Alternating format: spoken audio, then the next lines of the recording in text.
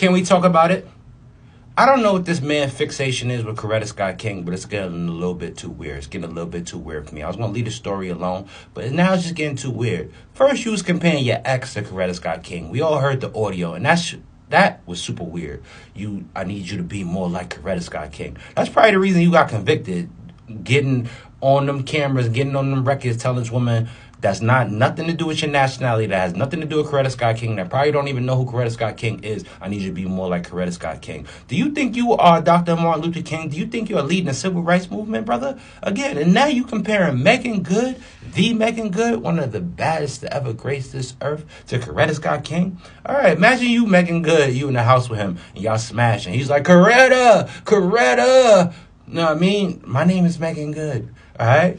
I don't know what your fixation is with women from 1946, 1947, and 1948, but they got to stop, bro. You count all of these women, Coretta Scott King, all right? You was in that situation before and you lost all your deals, you lost your movie roles because you was chasing a woman. You six four, chasing a woman through the streets of New York. It don't matter if she was chasing you, whatever happened. When everybody heard that audio, I need you to be more like Coretta Scott King. We all looked at you like you was crazy. And now we saying that you got a fixation with women from 1946. What you gonna call Meagan Good next? Ernestine, Abigail, Gretchen. When the last time you seen a woman named Gretchen?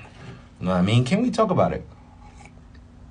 I don't know what your fixation is with women half your age. Um, well, women from 1946 and all these old fashioned women and dressing like you still on that show on HBO where you was going back in time fighting the aliens. But bro, it's time to get hip to 2024, bro. Cause you, I don't know what you're doing. Cause it's absolutely crazy.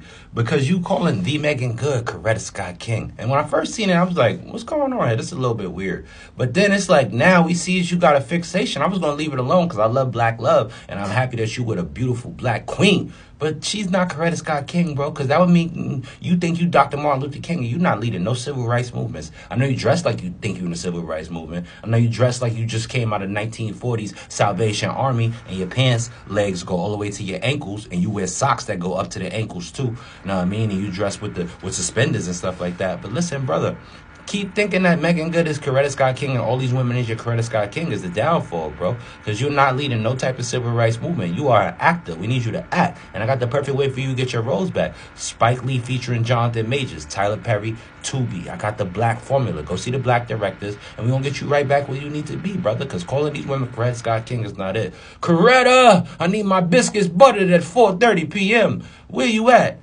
She's like, my name is Meagan Good, and I don't butter no damn biscuits. All right. Can we talk about it?